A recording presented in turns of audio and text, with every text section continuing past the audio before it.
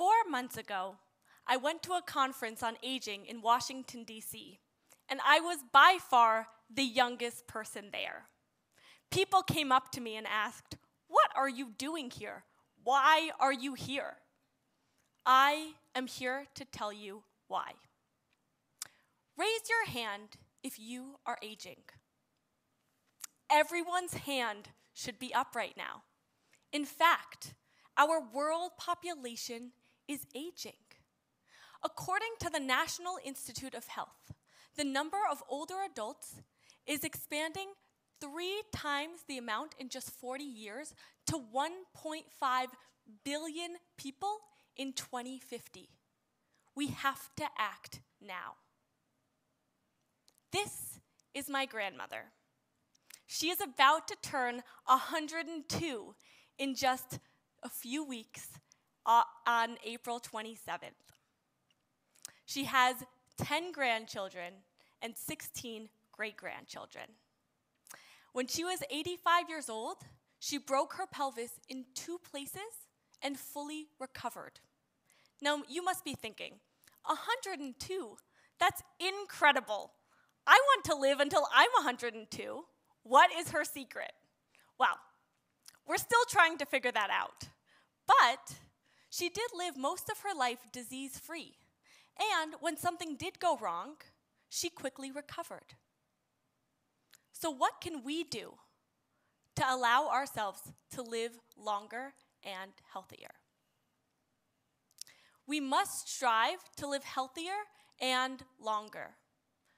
Throughout this talk, I am going to walk you through a framework of three tools so that we can be proactive about our health and that we can strive to live and age purposefully. When I was around, my journey started when I was around 12 years old. My mother had Lyme disease. This was really challenging because I was the first person to deal with this process because I was the one who treated her. I had to figure out how to treat my mother at 12 years old. Yet 10 years later, she still had chronic Lyme disease. It was upsetting and frustrating to know how to deal with this process.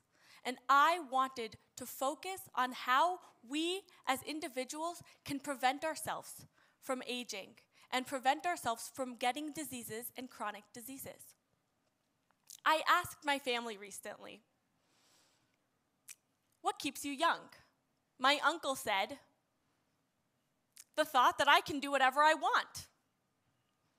My aunt laughed and said, Until you realize you can't. Until you realize you can't. But what if we can? I am here to tell you that we can.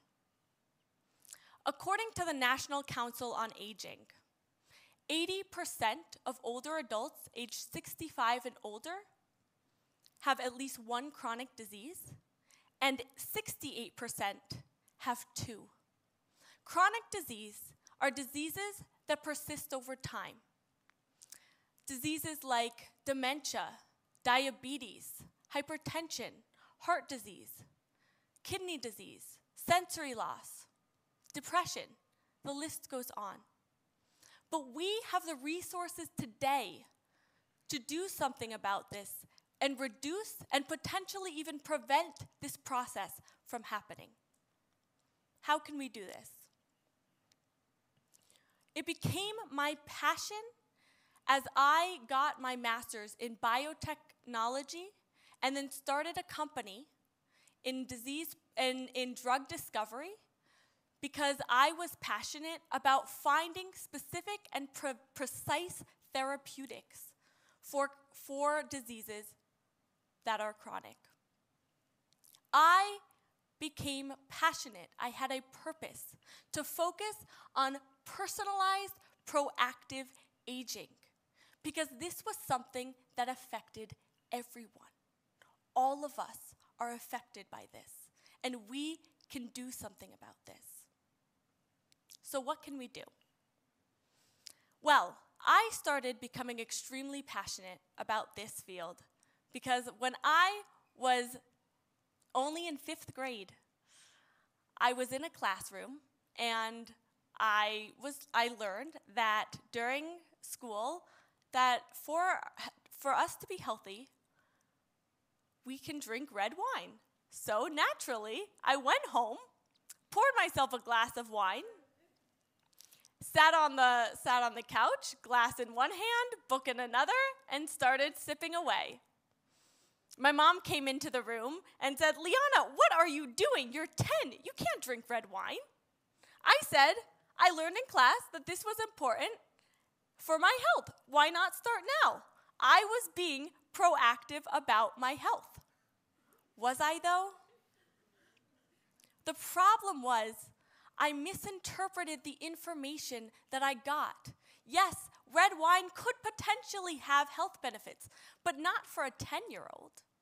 Studies have shown that nutrition, exercise, sleep, stress, and, and relationships are important for our health. But that all depends on how we do it.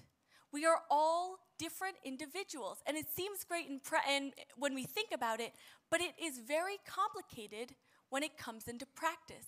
We all have different wants and needs, different motivations, different personalities, different biologies, different lifestyles, different environments. We have to approach this in a different, personalized way. Different ages, because clearly that was my problem. This is really important, especially when the word that the, the world that we are in right now is complex. We are trying to live healthier for longer when everything depends. It depends. How we deal with our health depends on us as individuals because we are all so different. It depends on so many different factors, and we have to figure out how to deal with that. So, I'm going to walk you through three different tools that we can use so that we can focus on our health to live healthier for longer. The first tool is mapping. Mapping is what we want. What do we want? The second is testing, what we have. The third is monitoring, how we change. These tools can be used throughout our lives so that we can determine what is right for us as individuals, because that is important for how we age successfully. So let's start with mapping. Mapping is what we want. What do we want in our lives? What do we want? What do you want to achieve in your late in life goals? What do you want to focus on? What do you want to do? Lionel Messi once said, It took me 17 years and 114 days to become an overnight success. He envisioned his goal took the necessary steps and strategized so that he can become the best soccer player in the world. He was able to take a visual representation, mapping, and actually put it into fruition. Now, we can't all become the best soccer player of all time. But what we can do is we can focus on our health in a very proactive way and we can strive to live until we're 100 years old. We say all the time, What do you want to be when you grow up? To kids, all the time, we ask them this What do you want to be when you grow up? And they answer, I want to be an astronaut, or a doctor, or a cook, or a teacher, whatever it is. But then we stop, answer, we stop answering this question Why? Because nobody asks us anymore. I am here to ask you what do you want to do in your life? What do you want to do in your life when you grow up? When I grow up, I want to be able to sit on the floor and play with my grandchildren. I want to be able to carry my own groceries. I want to be able to dance the night away. And I want to be able to have stimulating conversations with the people I love and care about. What do you want to do when you grow up? This starts with mapping. Ask yourself today and write them down. Let's move on to testing. What is testing? Testing is what we have or what we don't have. It is the absent, determining the absence and the presence of diseases in your body. It can help detect, diagnose, assess severity, and, treat, and figure out the right treatments for diseases earlier on in your life. We are in an incredible time right now where new testing innovations are coming out that are less invasive, that have higher accuracy, and that are easier to use so that they are more accessible for us. This is an incredible time to determine what tests are right for us as individuals. We must also, though, consider that not tests are for everybody. We have to understand the drawbacks as well as the benefits of tests. If you have a history, um, a family history of cancer or of heart disease, it could be important for you to get tests at a different rate than the regular population. Your primary care physician can help you deal with this process because it is ever changing and it de depends on you. So let's go to our last one monitoring. How we change. Monitoring allows us to determine how we can stay on track with our mapping and testing, with our goals, and determine what is changing in our body. Mapping allows us to take the things, put them into action. I mean, monitoring allows us to take these things, put these into action, and understand how they impact our body. We monitor all the time without even realizing. We monitor with our watches and our phones how many steps we have, our fitness, our nutrition, our mental health. There's so many things that we are monitoring and that we monitor all the time. Right now, my watch is monitoring my heart rate, which is probably higher than it normally is because I'm giving this TED Talk. But monitoring is super, super helpful in the process because we change all the time. And if we're adding interventions in our body, if our body becomes irregular, or if we're improving or not, we should be able to determine that in our body. That is why monitoring is so important. However, monitoring and testing should also be thought through behaviors. We are all different when it comes to behaviors. Sometimes monitoring for us is really great because it motivates us to eat healthy. It motivates us to go the extra mile. It motivates us in different ways. But sometimes it can make us anxious that we're not necessarily doing the right thing. Or maybe that we didn't necessarily go for that run today. It can make us anxious sometimes as well. Or maybe we don't fully understand the data. We have to figure out the right monitoring and testing for us as well as mapping.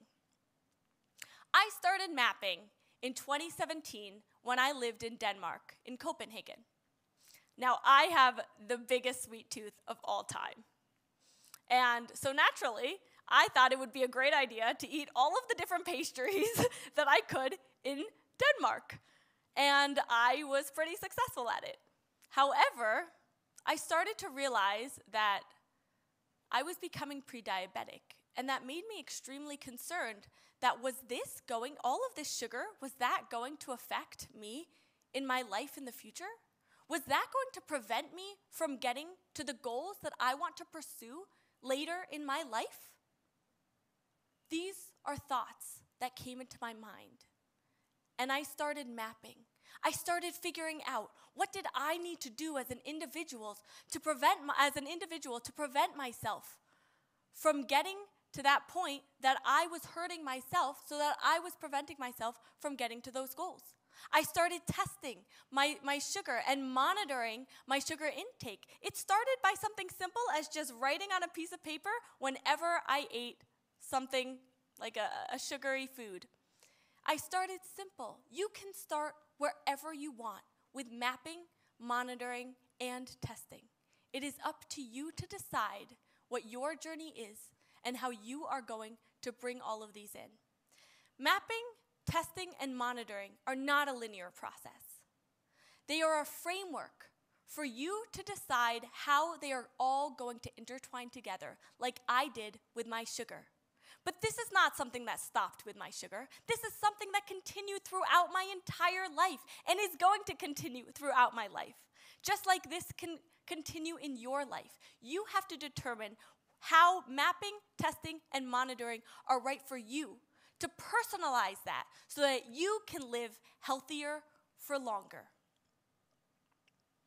This is my grandmother and me. When I look at my grandmother, I can't help but thinking how important mapping, testing, and monitoring are for our future.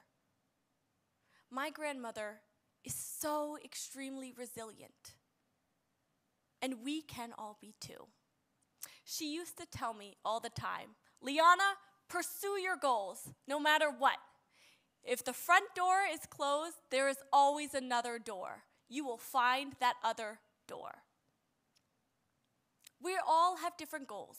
We all have different limitations. But we can find those goals and focus on our health by finding those doors. Mapping, testing, and monitoring are the keys. We have the rest of our lives to focus on our health and live healthier for longer. So let's start now.